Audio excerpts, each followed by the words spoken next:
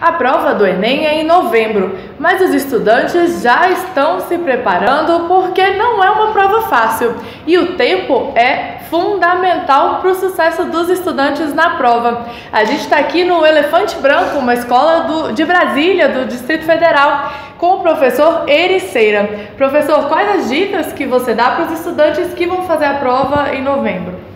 Bom, as dicas é primeiro façam simulado, façam esse, façam quantos houverem e, por favor, é, a partir do simulado, avaliem as suas condições, vejam em que matérias vocês precisam estudar mais e, agora já que estamos próximo do, do Enem de verdade, enfoquem aquelas matérias em que vocês são os melhores, tentem aprimorá-las.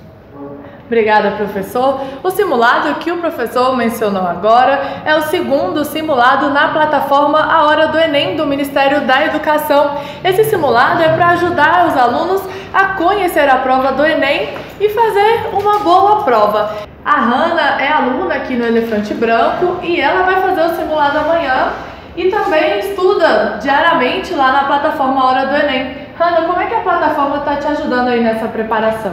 Ah, então, tem ajudado bastante. Eu fiz o primeiro simulado e notei que tem uma dificuldade com, a, com as áreas de humanas. Então, através da plataforma, ela me passou um plano de estudos para que eu melhore essa minha dificuldade.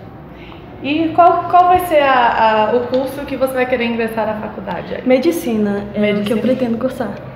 É um curso bastante difícil, então sua preparação está a todo vapor. A todo vapor. E como é que é, como é que tá a sua preparação? Assim, quantas horas por dia de estudo? Cinco horas de estudo, mas eu vou ingressar é, em um curso e é, eu pretendo estudar ainda mais até alcançar meu objetivo.